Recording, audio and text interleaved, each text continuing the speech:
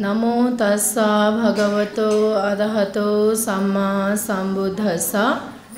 पापोऽपि पश्यति भद्रं, याव पापं न पश्यति, यदा च पश्यति पापं। अथ पापो पापानि पश्यति, भद्रोऽपि पश्यति पापं, यावं भद्र न यस यदा च पश्यति भद्रं अथ भद्रो भद्रानि पश्यति। पहिला भगवान् बुद्धलाई वन्दना। श्रद्धेय धर्मवती गुरुमालाई वन्दना। ज्येष्ठ गुरुमाहरूलाई वन्दना। त्यस्तै सानो गुरुमाहरू उपासक उपासिकाहरूलाई सुखी होस् निरोगी होस् मङ्गल होस् भन्ने कामना गर्दछु। आज चाहिँ बुद्धकालीन उपासकहरूमध्ये दोस्रो नम्बरमा रहेको अनाथ पिण्डिक महाजनको विषयमा तपाईँहरूलाई धर्म उपदेश दिन गइरहेकी छु। हामीले अष्टमी सलो औँसी पूर्णिमाको दिनमा हामीले धर्म उपदेश सुन्दै आइरहेका छौँ। त्यसमध्ये बुद्धकालीन समयका चतुपरिषदहरू जो चाहिँ अग्र स्थानमा रहेका व्यक्तिहरूको विषयमा हामीले धर्म उपदेश सुनिरहेका छौँ। चतुपरिषदहरूमध्येमा भिक्षु भिक्षुनी उपासक उपासिका यो चार परिषदको बारेमा हामीले उपदेश सुन्दै आइरहेका छौँ। त्यसमध्ये आज चाहिँ उपासकहरू बुद्धकालीन उपासकहरू जो चाहिँ एतदग्ग पद प्राप्त गरिसकेका उपासकहरूमध्येमा अनाथ पिण्डिक महाजनको विषयमा चाहिँ तपाईँहरूलाई उपदेश दिन गइरहेछु। भर्खरै मैले भनेको गाथामा के भनिएको छ भन्दाखेरि पापको फल नपाएसम्म पापी व्यक्तिले पापलाई राम्रो सम्झन्छ अरे। जब त्यो पापको फल परिपक्व भएर त्यो फल भोग्नुपर्ने हुन्छ तब मात्र उसले पाप भनेको के हो? पापको परिचय बल्ल पो मैले बुझेँ भनेर बुझ्छ अरे। त्यस्तै अर्को पनि गाथामा के भनिएको छ भन्दा पुण्यको फल नपाएसम्म अरे। पुण्य गर्ने व्यक्ति धर्म गर्ने व्यक्तिहरूले जबसम्म मैले यो धर्मको फल प्राप्त गरे छैन धर्मको फल नपाएसम्म उसले चाहिँ धर्मलाई राम्रो सोच्दैन अरे। नराम्रो रहेछ भन्ने बुझ्छ अरे।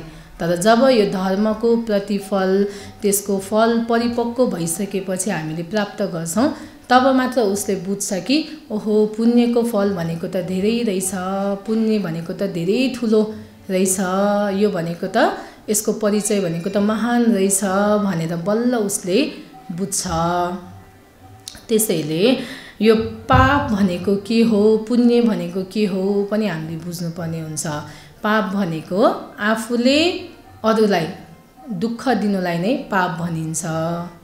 आफूले अरूलाई चित्त दुखाउनु आफूबाट अरूलाई जति पनि अहित हुने काम गर्नुलाई नै पाप भनिन्छ। त्यस्तै पुण्य भनेको के हो त भन्दाखेरि आफूबाट अरूलाई धर्म हुने अरूको लागि उपकार हुने काम गर्नुलाई चाहिँ पुण्य भनिन्छ। अब यो पाप भन्ने भन्नाले हामीले अहिले देखिरहेका छौँ अहिलेको हाम्रो समाजमा पापीहरू धेरै बढिरहेको छ। तपाईँहरूले पनि थाहा छ होइन? दिनौँ हामीले समाचारमा सुनिरहेको हुन्छौँ।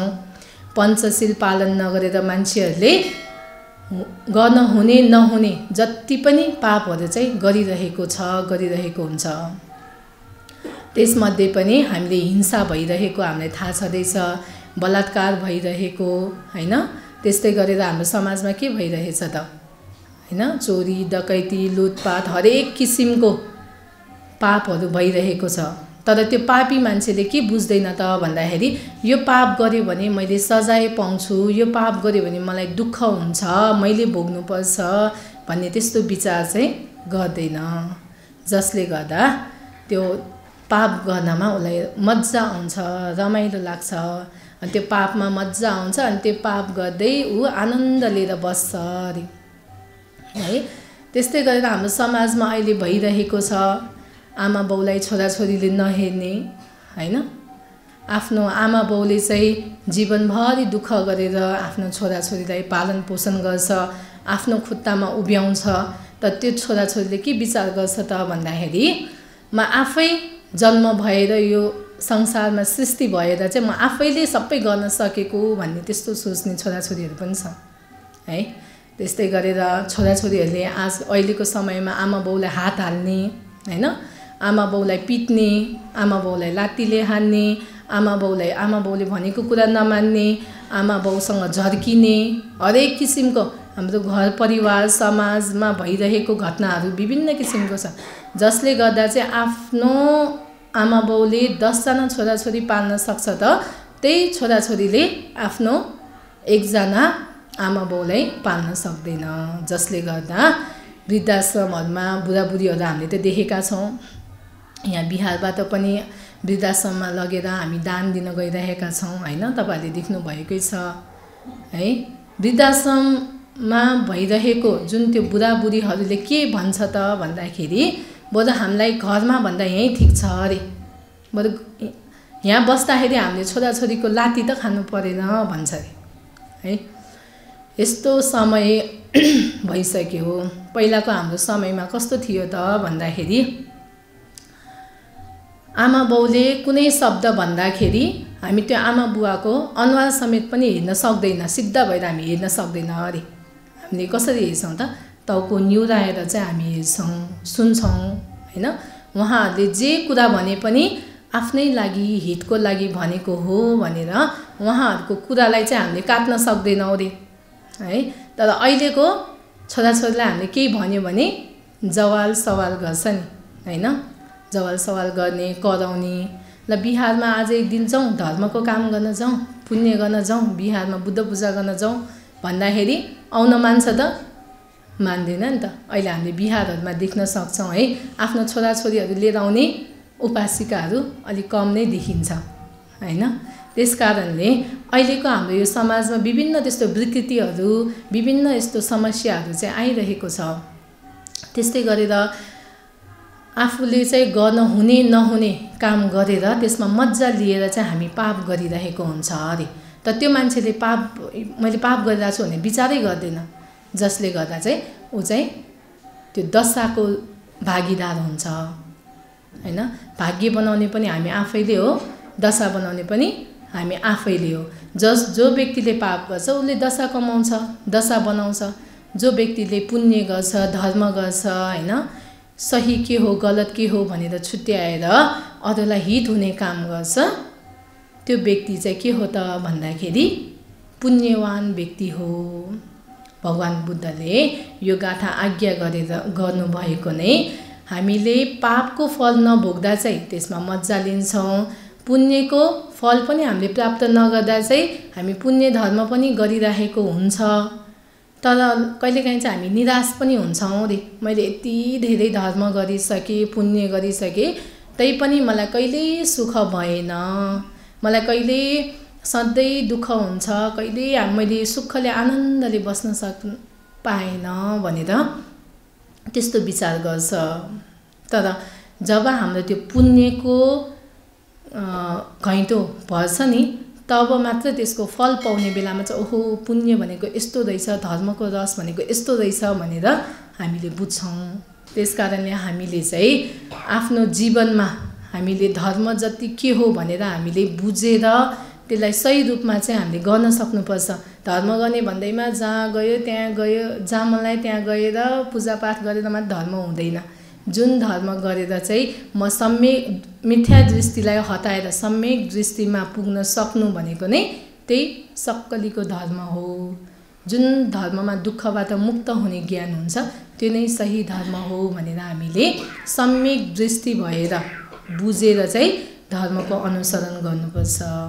अब यो गाथा चाहिँ भगवान् बुद्धले कसको कारणले कुन ठाउँमा बस्नु हुँदाखेरि आज्ञा गर्नुभएको हो त भन्दाखेरि भगवान् बुद्ध एक समयमा अनाथ पिण्डिक भन्ने महाजनले बनाइदिनु भएको जेतवनाराम बिहारमा बसिराख्नु भएको बेलामा अनाथ पिण्डिककै कारणमा चाहिँ यो धर्म यो गाथा आज्ञा गर्नुभएको हो। अनाथ पिण्डिक महाजन भनेर हामीले धेरै सुनिसकेका छौँ। तपाईँहरूले पनि सुन्नु भइसक्यो। होइन अनाथ पिण्डिक भनेको चाहिँ दान दिनुमा अग्र पद प्राप्त भएको महाजन हो। है यो महाजन चाहिँ कहाँ बस्थ्यो भन्दाखेरि उहाँ यो अनाथ पिण्डिक महाजन चाहिँ स्वावस्तीको एकदमै धनी मध्ये पनि धनी महाजन हो। अनि उस उसलाई किन अनाथ पिण्डिक महाजन भनेको त भन्दाखेरि उसले चाहिँ सबै मान्छेहरूलाई उपकार गर्दै जान्छ जान्थ्यो अरे। है? जो दुखी हुन्छ जो असहाय हुन्छ जो चाहिँ खान नपाएको अनाथ हुन्छ उनीहरूलाई एक छाक भोजन दान दिने उसको एक पेटभरि उसलाई खाना खुवाउने पिण्ड दान दिने भएको कारणले यो अनाथहरूलाई खाना खुवाउने भएकोले नै यो महाजनको नाम अनाथ पिण्डिक भनेर नाम रहन गएको हो। तर उसको साँच्चैको साँच्चीकै नाम के हो त भन्दाखेरि शुद्धत्त उसको साँच्चैको नाम शुद्धत्त हो। अनि अनाथ पिण्डिक महाजनले चाहिँ आफू गृहस्थी बेलामा नै उसले धेरै मान्छेहरूको उपकार गर्ने आफ्नो दास दासीहरूलाई पनि खाना खुवाउने होइन धेरै उपकार गर्ने जो व्यक्तिलाई पनि जति पनि दिन दुखीहरू छ उनीहरू सबैलाई उपकार गर्दै उसले चाहिँ आफ्नो जीवनयापन गरिरहेको अनि उसले चाहिँ व्यापारको काम गर्दथ्यो। अनाथ पिण्डिक महाजनले एक ठाउँबाट अर्को ठाउँ श्रावस्तीबाट राजगृह भन्ने ठाउँमा व्यापार गर्न जान्थ्यो।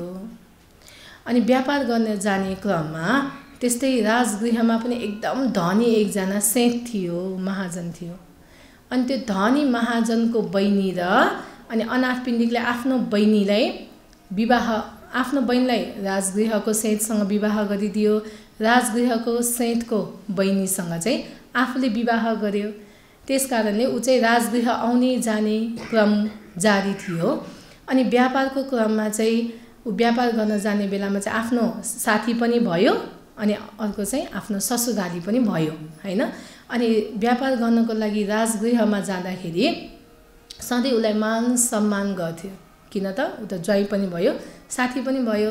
तर एक दिनको कुरा हो व्यापार गर्न जाने बेलामा उसको साथीले चाहिँ उसलाई त्यति मान्ने पनि गरेन। सबैजना बिजी सबैजना आफ्नो आफ्नै काम तन्तालन्तामा चाहिँ एकदम भ्याइ नभ्याइ भइरहेको थियो अनि उसले विचार गर्यो अनाथ पिण्डिकले ओहो आज त मलाई यहाँ कुनै पनि सम्मान छैन।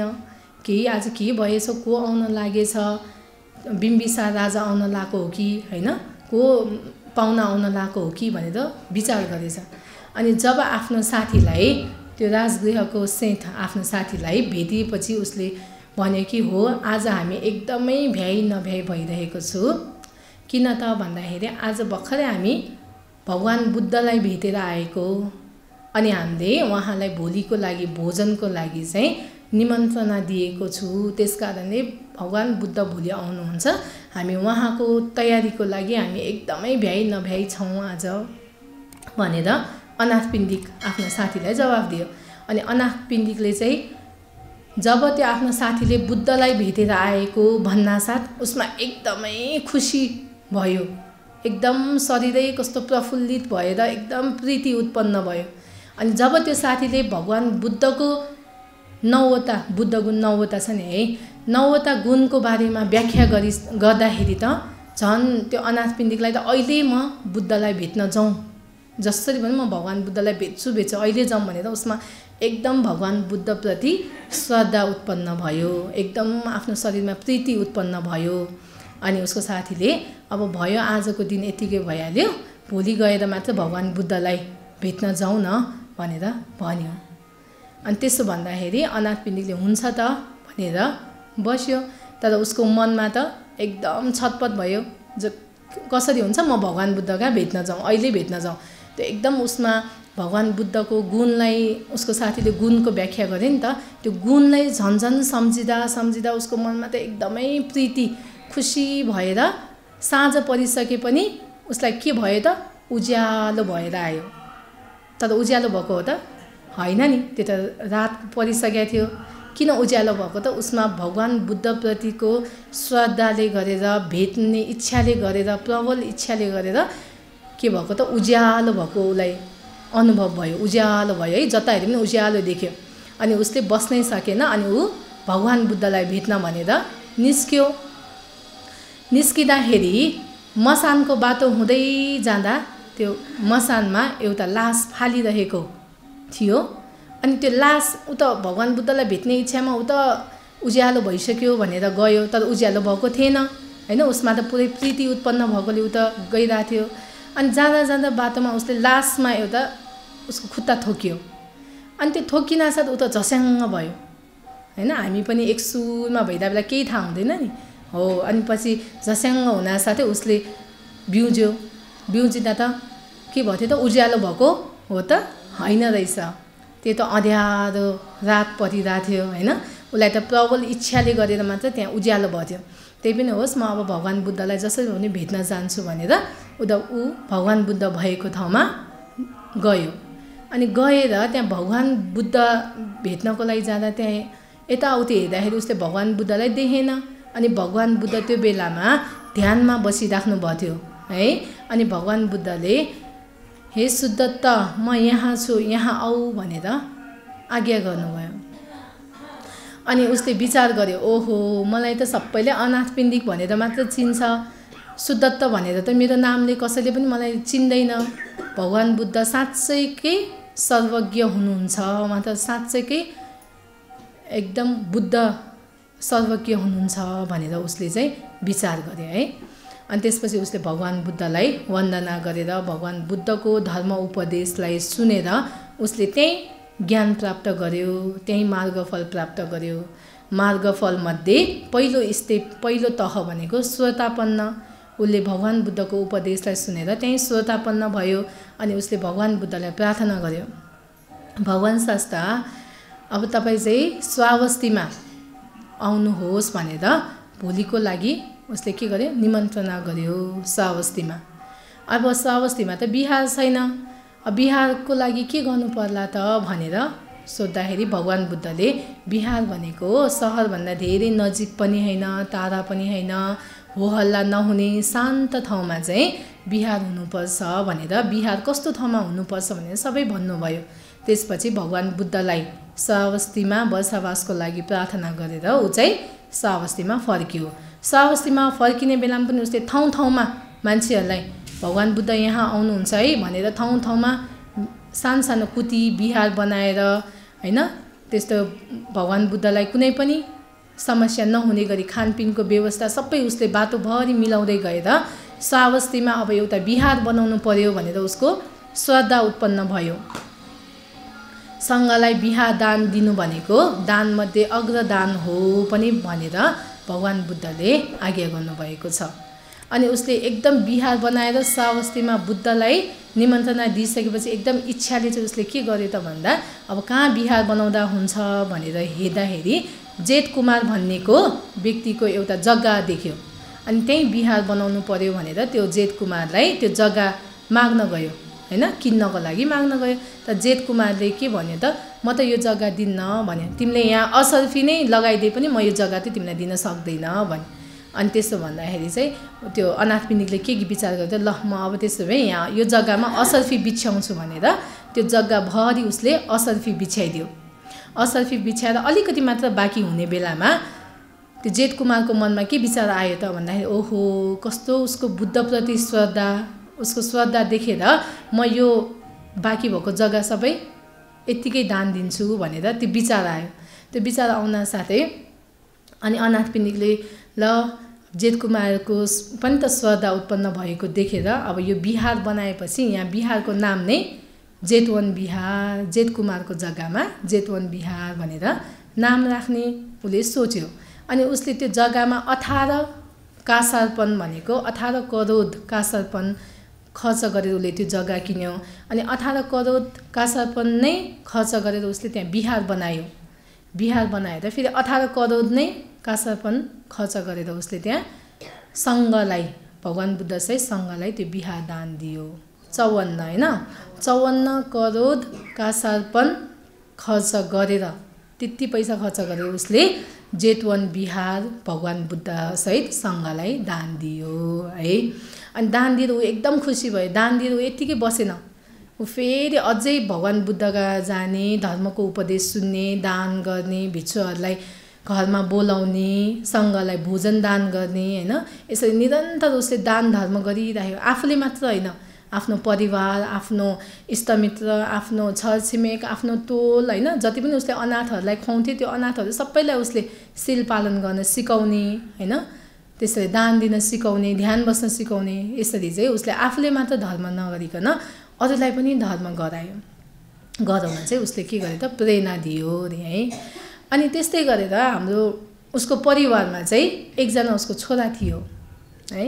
हाम्रो परिवारमा पनि त हामी हामीलाई धर्मप्रति श्रद्धा हुन्छ तर परिवारको सबै सदस्यलाई श्रद्धा हुन्छ नै भन्ने हुँदैन। हाम्रो परिवारमा पनि कसैलाई धर्म मनपर्छ कसैलाई मन पर्दैन होइन? त्यस्तै अनाथ पिण्डितले त्यति धेरै धर्म गर्दाखेरि पनि उसको परिवारको एकजना सदस्य उसको छोरा काल भन्ने उसलाई चाहिँ धर्मप्रति कुनै पनि श्रद्धा थिएन। उसलाई चाहिँ धर्म गर्न पनि मन नलाग्ने भगवान् बुद्ध पनि मन नपर्ने बिहारमा जान पनि मन नलाग्ने दान दिन मन नलाग्ने कथा सुन्न मन नलाग्ने है? धर्मको जति काम केही मन नपर्ने। सिर्फ त्यही रमझम गर्ने रमाइलो गर्ने आनन्दले जीवन बिताउन मात्र मन लाग्थ्यो। अनि अनाथ पिण्डिकले के विचार गरे त हो मैले यति धेरै धर्म गरिरहेको छु दान पुण्य गरिरहेको छु। मेरो छोराले म जिउँदै हुँदा उसले दुःख पाउने भयो भन्ने विचार गरेर अब उसलाई कसरी सही सम्यक दृष्टिमा लाने त? भनेर पैसाले म उसलाई सम्यक दृष्टिमा लान्छु। पैसाले चाहिँ म उसलाई सही बाटोमा पुर्याउँछु भन्ने विचार गर्यो अनि उसले आफ्नो छोरालाई एक दिन बोलाएर तिमी आज बिहारमा जाऊ सिल पालन गरेर आऊ म तिमीलाई से कासरपन दिन्छु रे कासरपन भनेको पैसाको चक्का होइन? से कासरपन दिन्छु भने अनि त्यो भन्दा पैसाको लागि त हो नि सिल पालन गरेर आउने हो भनेर ऊ बिहार गयो। बिहार गएर उसले सिल पनि लिएर आयो अनि भोलिपल्ट सिल लिएर ऊ घरमा आउँदाखेरि उसले उसको बाउलाई भन्यो कि मैले सिल लिएर आइसकेँ अब मलाई पैसा दिनुहोस्। होइन? त पैसाको लागि सिल लिन गएको। अनि उसको बाउले त ल जे भए पनि मेरो छोराले सिल भए पनि लिएर आएछ बिहारमा त पाइला टेक्यो भनेर से कासा पनि दियो। अनि त्यस्तै फेरि भोलिपल्ट पनि अनाथपिण्डिक महाजनले के विचार गर्यो त भन्दा अब तिमी आज बिहार गएर धम्मपदको एउटा गाथा कन्थ गरेर आऊ म तिमीलाई हजार कासा पनि दिन्छु अरे हिजो हुँदा से आज हजार दिन्छु भन्दा त ऊ फेरि खुसी भयो अरे अनि गयो बिहारमा गएर भगवान् बुद्धसँग उसले भगवान् बुद्धले दिनुभएको उपदेश सुन्यो धम्मपद पनि उसले सुन्यो। तर कन्ठ गर्न सकेन। तलको कन्ठ गरे माथिको बिर्सिन्छ माथिको कन्ठ गरे तलको बिर्सिन्छ होइन? अनि उसले चाहिँ जति कन्ठ गरे पनि बिर्स्यो। अब उसले त पैसा नपाउने भयो। अब होइन म त जसरी भए पनि एकदम मन लगाएर उसले चाहिँ धर्म उपदेश सुन्यो। त्यसरी मन लगाएर म गर्छु नै भनेर उसले कन्ठ गर्छु नै भनेर उसले मन लगाउँदाखेरि के भयो त? उसले चाहिँ ज्ञान प्राप्त गर्यो। उसले राम्रोसँग सुन्यो नि त धर्मको उपदेश। जसले गर्दा उसले ज्ञान प्राप्त गरेर ऊ पनि के भयो? श्रोतापन्न भयो। है? यसरी जुन पैसाको लागि बिहारमा गएर ज्ञान लिन गएको काल भन्ने अनाथ पिण्डितको छोरालाई छोराले के गर्यो त? दुःखबाट मुक्त हुने मार्ग ज्ञानको पहिलो चरणसम्म ऊ पुग्न सफल भयो। अनि ऊ भगवान् बुद्धसहित ऊ चाहिँ घरमा फ आयो। आफ्नो घरमा है सङ्घलाई लिएर भोलि बिहानै घरमा आयो। आउँदाखेरि अनाथ पिण्डिकले देख्यो ओहो आज त मेरो छोरा शान्त छ। हिजो त एकदम खुसी भएर ऊ त फताफत हिँडेको थियो आज त शान्त भएर आएछ भनेर आफ्नो छोरालाई देखेर ओहो मेरो छोराले केही न केही ज्ञान लिएर आएछ। त्यसमाथि पनि भगवान् बुद्ध सँग सँग सहित आएको हुँदा चाहिँ केही न केही ज्ञान लिएर आयो भने एकदम खुसी भयो। अनि यता काल होइन उसको छोरालाई चाहिँ के पि थियो त भन्दाखेरि ल अब मेरो बुवाले भगवान् बुद्ध त सँगै हुनुहुन्छ। अब मेरो बुवाले चाहिँ मलाई हजार कासापन पैसा दिने भयो मलाई त लाज हुन्छ। पहिला पो पैसाको कारणले गएँ त ज्ञान नहुँदा। ज्ञान भइसकेपछि त त्यो पैसाको त आवश्यक परेन। अनि अब मलाई मेरो बुवाले पैसा दिन्छ भने ऊ चाहिँ एकदमै पिर मानेर अगाडि गइरहेको थियो अनि जब अगाडि पुग्न साथै अनाथ पैसा दियो। अनि दिँदाखेरि चाहिँ उसले होइन मलाई चाहिँदैन भन्यो। उसलाई त एकदम अप्ठ्यारो भयो। अनि भगवान् बुद्धले त्यो बेलामा भन्नुभयो कि उसले अब ज्ञान प्राप्त गरिसक्यो। उसलाई अब यो पैसाको आवश्यक छैन। अब उसले ज्ञानलाई बुझिसक्यो भनेर भन्दा अनाथ एकदम खुसी भयो अरे आफ्नो जुन अन्धविश्वासमा हुर्केको आफ्नो छोरा छ धर्मप्रतिको विश्वास नभएको कालो छोरा छ उसले ऊ चाहिँ के भयो त अब सम्यक दृष्टिमा पुग्यो भनेर ऊ एकदम खुसी भयो। तर हाम्रो जीवन भनेको ठेगान छैन होइन? समय बित्दै गयो त्यस्तो धनाध्य सेठ है? बिहारमा सधैँ जाने। ऊ बिहार नगएको दिनै हुँदैन। बिहारमा ऊ कति स कतिचोटिसम्म पुग्छ त भन्दा दिनमा त्यो अनाथपिण्डिक महाजन बिहारमा तिनचोटिसम्म पुग्छ। हामीलाई एकचोटि आउन कति गाह्रो हुन्छ। एकचोटि घर छोडेर हामी आउँदाखेरि नै मनमा खुलखुल हुन्छ होइन? मनमा पिर हुन्छ नि त मेरो छोराले खाए खाएन छोरीले खाए खाएन घरमा के भइरहेछ यस्तो पिर हुन्छ नि बिहारमा आउँदा पनि। तर त्यो अनाथ पिण्डिकले बिहारमा जाँदा कुनै पनि पिर नलिकन दिनको तिन पटकसम्म जान्थ्यो है? अनि पहिलोचोटि जाँदा ऊ के गर्थ्यो त भन्दाखेरि खाली हात जाँदैन। कहिले पनि ऊ खाली हात जाँदैन। जाने बेलामा पहिलोचोटि बिहान जाने बेलामा उसले यागु जलपान बोकेर जान्थ्यो अरे है? बुद्धसहित सङ्घलाई दान दिनु। अनि त्यसपछि दोस्रो दिउँसोको खाना खाएर जाने बेलामा उसले के लिएर जान्थ्यो त भन्दा चतुर्मधु है? बाह्र बजिसकेपछि चाहिँ चतुर्मधु औषधिहरू बोकेर चाहिँ ऊ जान्थ्यो। अनि अन्तिममा साँझको बेलामा पनि ऊ बुद्ध पूजा गर्नको लागि बिहारमा जाँदा बिहारमा उपदेश सुन्नको लागि जाने बेलामा उसले के लिएर जान्थ्यो त भन्दाखेरि फुलहरू धुपहरू होइन एकदम बास्न आउने फुलहरू लिएर चाहिँ सङ्घलाई दान दिने।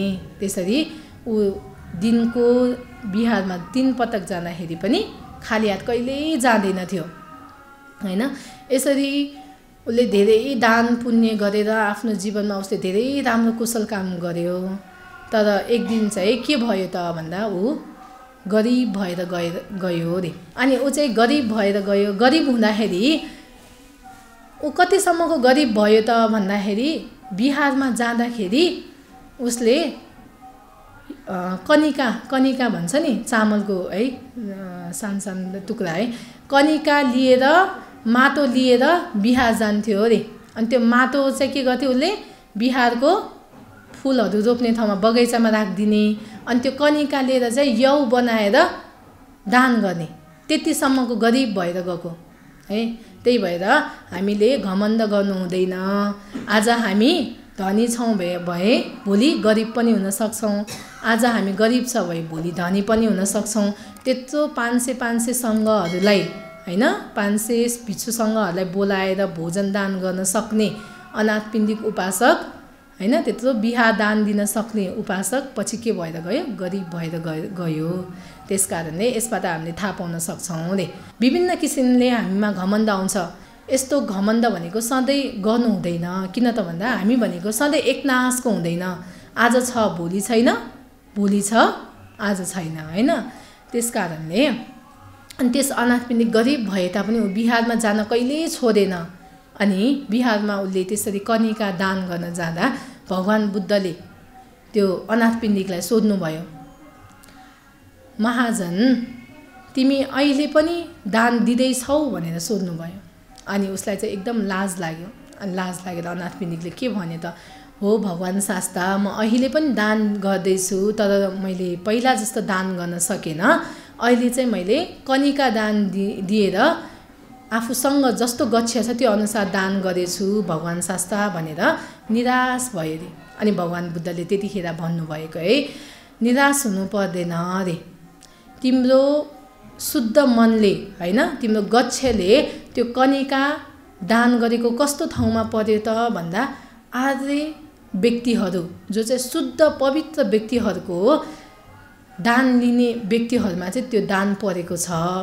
त्यस कारणले तिमीले अलिकति पनि मनलाई विचलित नगर मन शुद्ध गर भनेर उहाँले के भन्नुभयो त भन्दा म पहिला बोधिसत्व हुने समयमा वेलामा भन्ने ब्राह्मण भएको बेलामा त्यो बेला त्यो जातकमा उल्लेख भएअनुसार त्यो बेलामा मैले धेरै दान दिएँ है पुरै त्यो जम्बुद्वीप नै पुरै हल्लाखल्ला हुने गरी नै मैले दान गरेँ। तर त्यो दान दिएको अवस्थामा यति दान गरेँ कि त्यो दान लिने व्यक्तिहरू कोही पनि पञ्चशील पालन गरेको थिएन। बुद्ध धर्मसङ्घको सदनमा गएको व्यक्तिहरू थिएन अरे। दान त गर्यो तर त्यो दान कस्तो व्यक्तिले प्राप्त गर्यो त? दुखीहरूले त प्राप्त गर्यो। तर त्रिरत्न र पञ्चशील पालन गर्ने व्यक्तिहरूले चाहिँ त्यो दान पाएको थिएन। त्यस कारणले तिमीले त अहिले बुद्ध भएको समयमा सङ्घलाई आफ्नो श्रद्धाले आफ्नो शुद्ध मनले दान गरिरहेका छौँ। आजै पुद्गलहरूलाई दान दिइरहेका छौँ। तिमीले किन मनलाई विचलित नगर भनेर भगवान् बुद्धले आज्ञा गर्नुभयो है। यसबाट हामीले के थाहा पाउन सक्छौँ त भन्दा दान दिने भन्दैमा शुद्ध व्यक्तिलाई दिएको दानको पुण्य छुट्टै हुन्छ। होइन? त्यसको प्रतिफल छुट्टै हुन्छ। गरिब दिन दुखीलाई दिएको पुण्य छुट्टै हुन्छ। दान त दानै हो। हामीले दान दिँदा चाहिँ कसरी दान दिनुपर्छ भनेर हामीले यहाँनिर थाहा पाउन सकिन्छ होइन? भगवान् बुद्धले भन्नुभयो नि थोरै नै किने नहोस्। आफ्नो शुद्ध मनले दान दिएको पुण्यको प्रतिफल धेरै हुन्छ।